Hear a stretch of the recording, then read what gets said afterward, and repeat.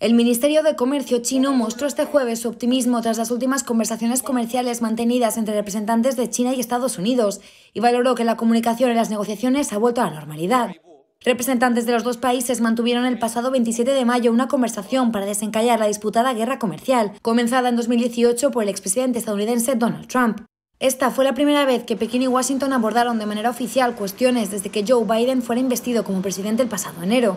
La relación entre ambos países comenzó a deteriorarse con el inicio de la guerra comercial y el consecuente intercambio de imposiciones arancelarias, y derivó después en enfrentamientos en los planos diplomático y tecnológico, entre otros. Durante el gobierno de Trump, Estados Unidos impuso aranceles a productos chinos por valor de unos 370.000 millones de dólares anuales, en torno a tres cuartas partes de las exportaciones del país asiático, a lo que Pekín respondió con sus propias medidas contra las exportaciones estadounidenses. Los dos países firmaron en enero de 2020 un acuerdo comercial parcial que se comprometieron a revisar cada seis meses.